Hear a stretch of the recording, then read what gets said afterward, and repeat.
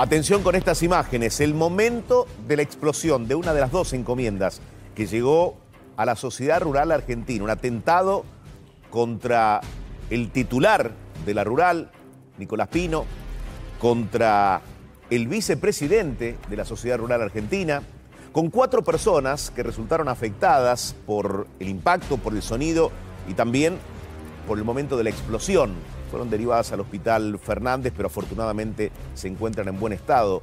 Eh, la secretaria que estaba allí eh, en ese escritorio, haciendo sus actividades diarias, fue la que tiene un hematoma, eso es lo que han dicho los médicos que la atendieron en este nosocomio. Estamos trabajando con Selmira Polaco en el lugar desde donde partió una de estas encomiendas. Eh, Selmira, buen día estamos haciendo la ruta del paquete explosivo que llegó ayer a la sociedad rural. Repasemos, ayer a primera hora llegaron dos paquetes a la sociedad rural, uno con destino a Nicolás Pino, al presidente del mismo. La secretaria lo va a abrir y hasta ayer decíamos que había sido una difusión de humo y vemos en el video que se provoca una explosión. Todo el escritorio queda negro prácticamente por el polvo y las personas, las cuatro personas que estaban en la oficina fueron trasladados al Hospital Fernández de manera preventiva, ya se encuentran obviamente fuera de peligro, pero hubo un explosivo. Luego el ministro de Seguridad, eh, Waldo Wolf, dijo de que había un dispositivo con la intención de que explote, había una batería, había un circuito, una conexión, es decir, había un explosivo. El segundo paquete aparentemente tenía un decodificador. Pero ¿de dónde salieron los paquetes?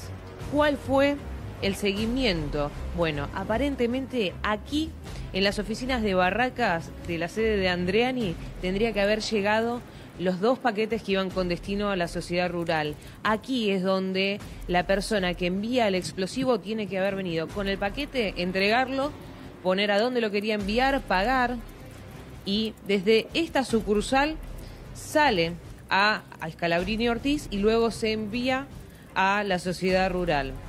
Es realmente impresionante porque esta sede, este, mm, esta empresa de distribución tiene un método exhaustivo para clasificar los paquetes, tienen la última tecnología para clasificar o envío si es eh, material frágil o si se puede enviar de una manera más rústica, pero aparentemente no pudieron prever que había un explosivo y la Fiscalía, la Policía Federal están investigando ya todas las sedes que podrían haber sido material de la ruta del envío a la sociedad rural, pero todas las sedes tienen cámaras de seguridad en la puerta como podemos ver.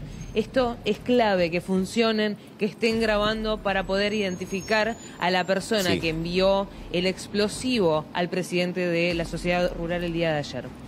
Y, vamos a, puntualizar esta, línea de tiempo que se establece. Si recibiste alguna encomienda en los últimos tiempos, eh, podés seguir minuto a minuto cuál es el recorrido que hace esa encomienda o ese material que estás por recibir porque hiciste alguna compra. En este caso es un material explosivo a modo de atentado contra la sociedad rural que llegó a la sede justamente eh, allí en el barrio de Palermo. Bobby, tenemos detalles del recorrido justamente de esta encomienda.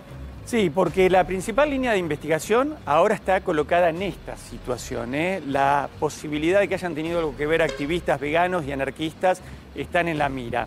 Cualquiera que haya ido a la rural sabe, incluso me tocó hacerlo en la última edición, que te los encontrás y la mayoría de ellos son activistas pacíficos, ahí mismo en el ingreso o egreso del predio ferial de Palermo, sobre la entrada principal de Plaza Italia, te encontrás a muchos haciendo manifestaciones en favor de los animales y en contra del tratamiento que a veces se les puede dar en muestras de estas características. Ahora, esto es otra cuestión, ¿eh? aquí está puesto el foco y se está revisando cámaras e incluso carteles colocados en los alrededores de, la sede de la Sociedad Rural Argentina en Palermo.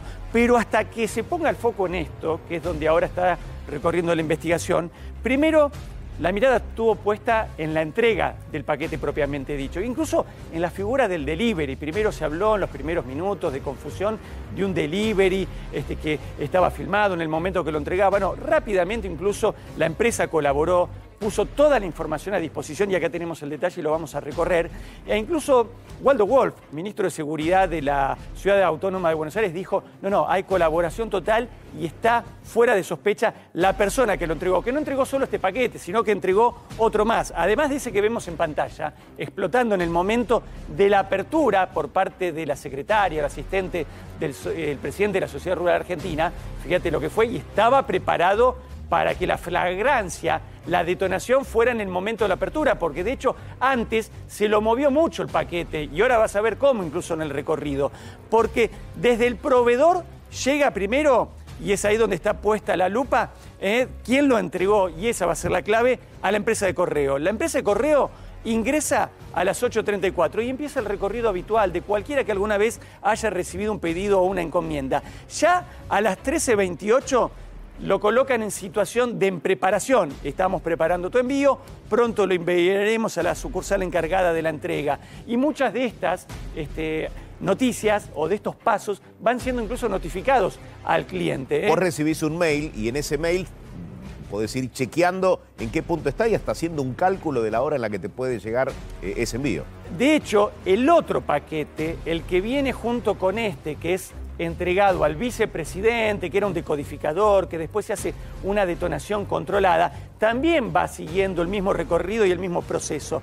En camino, nos dice ya la siguiente etapa, ¿eh? donde van dando los distintos horarios, 8.58, 8.32, 1.51. La sucursal Palermo, la que nos decía Selmira en la avenida Scalabrini Ortiz, es la sucursal designada como más próxima al lugar final de entrega. Y así llega, ¿eh? lo que es entregado a las 10.23, ya entregamos tu envío, agradecemos tu colaboración en la entrega. Este fue todo el recorrido de la información. Inmediatamente fue puesta por esta empresa privada de correo y logística a disposición de la justicia, con lo cual no está allí puesta la mirada y no está la sospecha quien ofició pobre de correo, de envío. No es esa persona la que está siendo investigada. Sí, lo otro que te mencionaba en el principio, la posibilidad que tenga que ver con alguna actividad de grupos que tienen que ver con el veganismo, pero que a diferencia de la inmensa mayoría que hacen eh, sus acciones de manera pacífica, en este momento están bajo la lupa si no tuvieron que ver con este episodio.